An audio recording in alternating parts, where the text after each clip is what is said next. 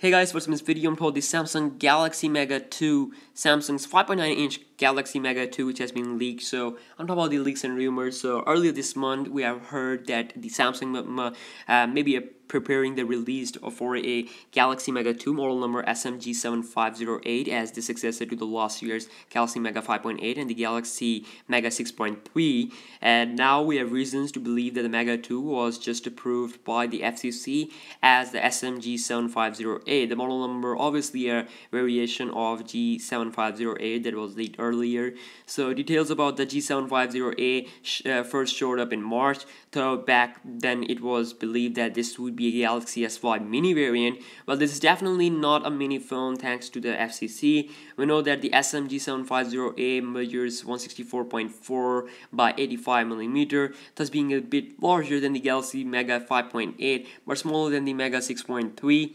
A handset size can perfectly host the rumored 5.9 inch display of the Mega 2. While the FCC allows us to see that the SMG7508 comes with LTE, NFC, and Wi-Fi, there's little else that the Commission is revealing. Anyway, if previous rumors are to be believed, the Mega 2 should feature a 64-bit Qualcomm 410 processor, 2 gigs of RAM, 5 megapixel front facing camera, and a 12 megapixel rear camera on the back. The existence of SMG7508 is confirmed by Samsung via UA profile that's available on its website. This shows that the device feature, features a 720p HD display and Android 4.4 KitKat. All in all, it looks like the Galaxy Mega 2 will be a huge mid-end handset. So I'll let you know about uh, when the more details uh, about it are available. And so yes, thanks for you guys and subscribe for deal tech videos, news, rumors, and more stuff.